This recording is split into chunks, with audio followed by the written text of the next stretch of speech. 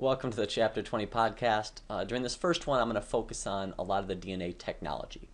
And so you can see here we have a glowing hydra. So this is a type of jellyfish typically found in fresh water.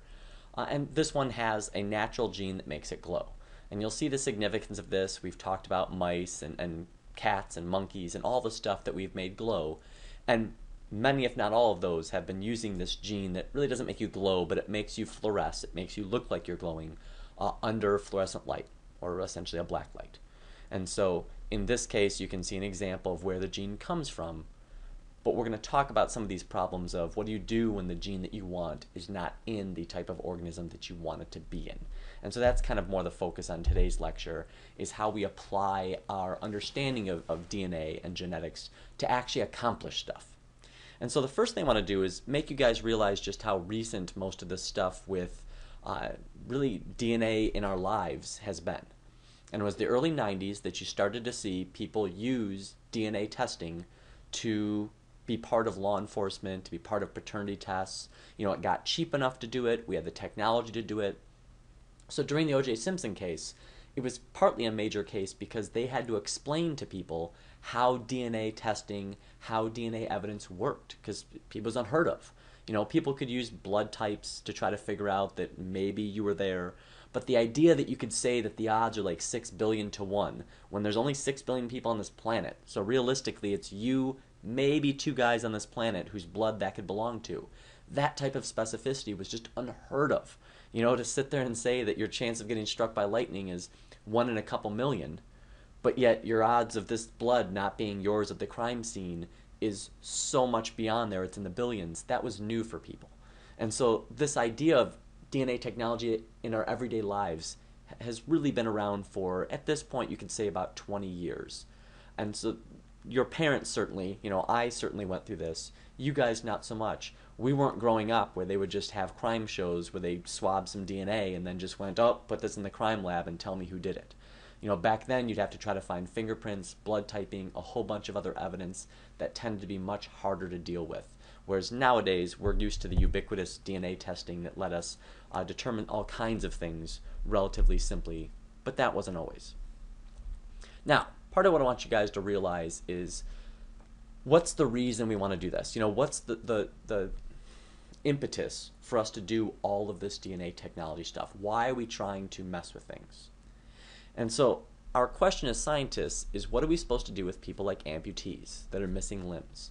Is it acceptable for us to try to build better and better prosthetics and to try to want to wire those things in into like their nervous system so they can be better and better controlled and we can eventually be all Luke Skywalker on this? You know, people with genetic disorders. Should we try and fix them? If we have the ability to essentially remove a gene and replace it with a healthy gene, is that something that's worthwhile? If you have organ failure, whether it's from cancer, whether it's because you had some type of disease that you caught, but if you have where an organ is failing, what should we do about that? Do we just let the people die? Do we just rely on organ transplants? Or is it okay to try to be more proactive and try to figure out if there's ways that we can either synthetically, like build an artificial heart, or if there's some way we can use things like stem cells and program them to try and grow you a new heart? Are these acceptable things? And these are a lot of the problems that people are dealing with as they look at biotechnology, which includes genetic engineering, kind of how we mess with stuff genetically. We also have increasing population size in humans. You know, right now we're about 7 billion. Depending on exactly how this trajectory goes, we're probably by 2050, I think they say about 9 billion. So we have more and more mouths to feed. But we're not having more and more land that we can use to grow crops on typically. Some of the land that we're growing it on is becoming less and less productive. You know, we're using up a lot of the nutrients there. And so we have to figure out how is it that we can cope with the fact that we have to provide more and more food year after year for a growing population. And then what do you do if the environment's screwing with you, if you will, where you have uh, or, like soil that's becoming more salty, and so that can make it where it's harder to grow crops. We've talked about this idea of nutrient depletion. Uh, you can have varying weather conditions as things get warmer, colder, wetter, drier. And so, how do we kind of work around some of these things and still meet the needs that we have, both medically and agriculturally? And so, these are the things that are kind of in the back of most scientists' minds when they're doing this research, trying to move along our knowledge and move along the ways in which we can apply genetic technology. So don't assume that they're all in labs trying to just, you know, brew up monkeys with four butts. We are trying to ultimately come up with practical solutions for everyday problems that we're encountering. And so one of the ways that they can try to deal with this is if we have problems that we can't fix by selective breeding. If no one in that species possesses a trait that we need that lets them be more tolerant towards it could be like insects, you know, part of nature.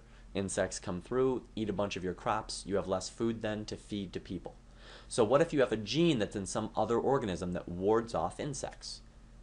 Is it acceptable then to go through what we call recombination? We've talked about this with crossing over, but we can also do this across species to link two different sources of DNA. So we can take a gene that's useful from one species and put it in another to try and then make a new, it's not really a full hybrid, but a new transgenic organism is what we'd call it, a mix of two different species DNA, uh, that's capable of thriving better and providing us with more resources. So our goal here would be more food for people. And so this falls under genetic engineering, though, which is basically when we manipulate or mess with the genes of things. So typically we're adding or subtracting genes. Uh, in some cases, if there's a negative gene, you might want to break it, sabotage it, remove it. In some cases, we want to add this positive gene, like golden rice, where rice doesn't naturally produce high levels of vitamin A. So we can add a gene that does, so that way all these people that eat rice as their normal food and are deficient in vitamin A get their vitamin A. You know, we're trying to not just focus on food there, we're focusing on nutrition. And genetic engineering, transgenics, all of this stuff falls under biotechnology, which is really just a broad term for us manipulating organisms in general to help out something, you know, to help us out uh, with our quality of life, uh, with the organism itself's longevity perhaps, but we're doing it for some purpose. And this could be including things like prosthetics and artificial hearts, things like that. It's not purely confined to genetics. That's one big chunk of biotechnology. But biotechnologists do lots of other things that you guys will see uh, in hospitals as they work to build better machinery. You know, you've got heart bypass machines that can act like your heart and your lung. You've got dialysis. There's lots of things that fall into that that are not purely genetic. So we're going to focus mostly on the genetic idea, but I will occasionally bring up the biotechnology broad idea because that's what's driving why we're doing this. And I want to make sure you guys appreciate that scientists aren't doing this just for their own benefit. They're doing this because they're trying to solve a problem that we have in the real world. Now, if we want to go through and get that gene, so let's say we've got this gene in jellyfish that makes you fluoresce, and so we want to grab that gene, then that's our gene of interest. What we'll do is we will then find out where the gene of interest is on the DNA or on a chromosome. We'll then sequence it, and then based upon the specific gene sequence, we will use what's called restriction enzymes, which cut DNA at specific sequences. So whenever they see that particular sequence that they cut at, they'll slice the DNA up. And so if we can cut this gene on either side, so essentially excising this gene out, we can then take that gene copy it a bunch using PCR, which we'll discuss later, and then we can insert that gene into a plasmid that's been cut by the same restriction enzyme. This is important it's cut by the same restriction enzyme because whenever restriction enzymes cut things, they tend to leave what are called sticky ends. You'll see here that when it cuts it, it leaves these little single stranded pieces. And these single stranded pieces have specific nucleotide sequences based upon which restriction enzyme cut them. So in this case, this restriction enzyme cuts at GAATTC. But when it cuts, it leaves this AATT exposed. So anything else I cut with that same restriction enzyme can kind of stick or velcro to the ends. They can come back together. And so I add a little bit of ligase in that mix, and they will adhere and make one full, complete piece. So if I cut a plasmid with that restriction enzyme to kind of break it up, and I cut this gene out with that restriction enzyme, I can kind of paste the two together add some ligase, and get a full, complete plasmid piece of DNA here uh, that ultimately contains my gene of interest and anything else I decide to stick in there. You know, it's possible you can put other genes as well. And so this will be the general process for trying to get a gene that we need into what we'll call a vector, which is how we're going to transport that gene into a cell. And vectors, most commonly that, that we'll talk about, will be plasmids, these small rings of DNA, which we can then try to get into a cell so that cell can express it. So we can add a gene to that cell. So this process of gene or DNA cloning, just to make sure we're comfortable, it, it, the critical piece in large part is going to be these restriction enzymes. Because if we know where we're going to cut the DNA, that's what allows us to make sure that we A, can cut the plasmid once. We don't want to cut it a bunch of times and disintegrate it. We just want to open it up and that we can cut the gene on either side of the gene we're trying to add into the plasmid with the same restriction enzyme. So when we do so, these sticky ends will then be able to go together and allow us to go through and do ligase, add ligase to seal it up. Now, some of them will cut it and give us what we call blunt ends, so those are less useful to us because they cut it and they don't leave these sticky ends, so it's harder for us to get the pieces to adhere back together. You know, if you have separate pieces of Velcro but there's no overhang, it's very difficult to get those separate Velcro pieces to stick together. And so when we do stuff, we tend to focus on ones that give us these sticky ends if we're trying to insert it in things. Alright, so before we move on, I just want to make it clear that there's going to be a variety of different restriction enzymes, a lot of them. And each of them are going to have their own sequence that they're looking for, such as GAA, TTC, and that specific sequence that works for them to cut is going to be called the restriction site. And so based upon where we want to cut something, we have to find the restriction enzyme that will cut it at the specific sequence that we need, that restriction site. Now, once it cuts this, we're going to end up with pieces in many cases. And so these pieces, just keep in mind, will be called restriction fragments. That will be important a little bit later because one of our technologies will be called restriction fragment length polymorphisms. So the restriction frag- the restriction fragment idea is just the pieces that are left over after you've gone through these very specific scissors, if you will, uh, these restriction enzymes to cut up the DNA that we're looking at. Now, once we've gone through and done this, the whole purpose is that if we find the gene that we want and we cut it out with that restriction enzyme, so that's what's going on here. This is going to be our gene of interest. It's going to be cut out from this guy, and then we're going to make copies of it, so we've got plenty. We're then going to cut the plasmid at a specific site, the restriction site, uh, with the same type of restriction enzyme, which will allow us to patch the two together to insert the gene of interest and use DNA ligase to seal it up. So we now have a plasmid that will typically contain our gene of interest, so G of I, if you will, as I make crap up. And we're also going to have usually a marker gene as well, and we'll talk more about that. That's the idea of fluorescing or antibiotic resistance. So we'll have some other gene usually in here, it's not just the one gene. Once we've gotten this set, we're going to want to, because we've got our cloning vector now, is what this is called, so our cloning vector is usually a plasmid, uh, and you'll see in some cases for eukaryotes, we'll use something called a yeast artificial chromosome. So it's very similar, it's just usually not circular, it'll be linear. Uh, but regardless, we've got like our small piece of DNA that we then have to get into the cell to make things work. So that's the last step here, where if it's bacteria, we can just kind of put them together and say, there you go, because bacteria are kind of oddballs. We've already talked about conjugation or transformation, that these guys are really free and loose with their DNA. You know, they're that kid that sits down and notices gum below their desk, and then you turn around and they're chewing gum. And you're just like, whoa.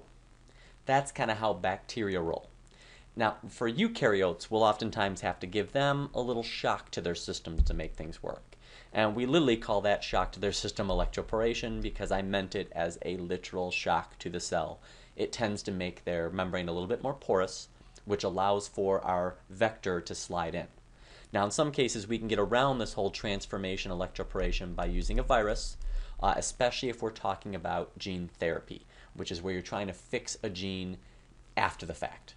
You know, a lot of the stuff we're talking about here, where we get our vector, we get our gene of interest, we get them together, we insert it in a cell, we go through and make copies of everything, then we're going to use that marker gene we talked about, such as antibiotic resistance or fluorescing under UV light, and we're going to use that to separate out who has the gene of interest and who doesn't, because it's a package deal. You know, if you fluoresce, you got the gene of interest too. If you survive on antibiotics, you have the gene of interest too. So it makes it easy for us to get rid of the other guys and then just reproduce the ones that have what we're looking for. So within this process, this normally is going to occur when we're trying to fix essentially a zygote. Or if it's something asexual, we're just trying to fix a cell. You know, you can fix one bacteria cell and make a whole bunch of them. But if you're already a person that has a genetic disorder, it's much more difficult because I can't just fix one of your cells, I have to fix all of your cells. And so that's why sometimes for those they'll use viruses, but these viruses, which were meant to not be harmful, ended up killing a kid in an early trial that was like 19 years old.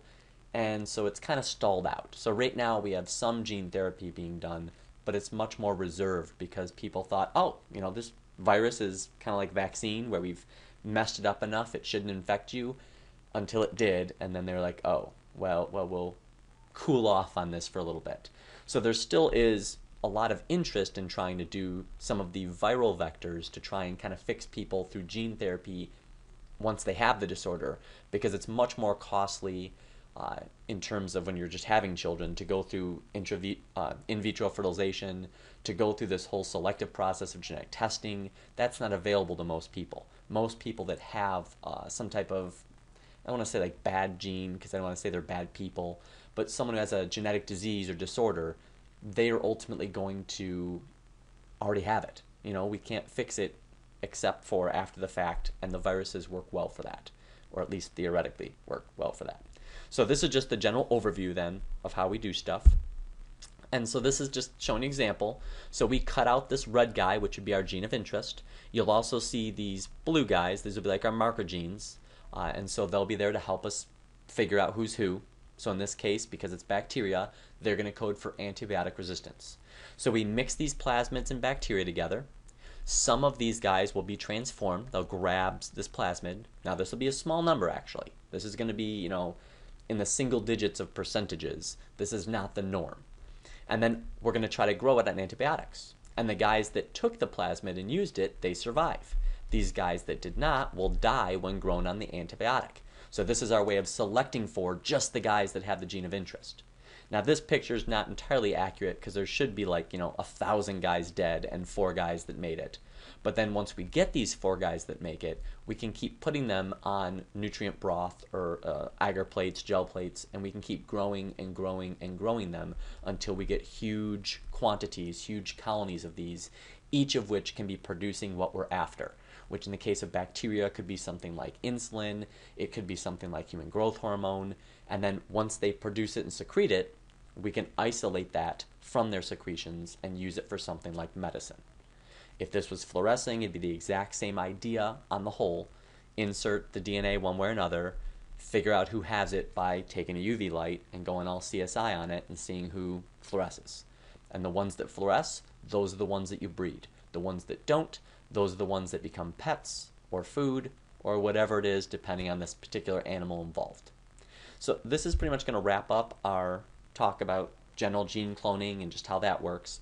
So we're going to pick up in the next one as we talk about some more technologies that deal with making copies and identifying stuff within our actual genomes, within our DNA. So I'll talk to you guys soon.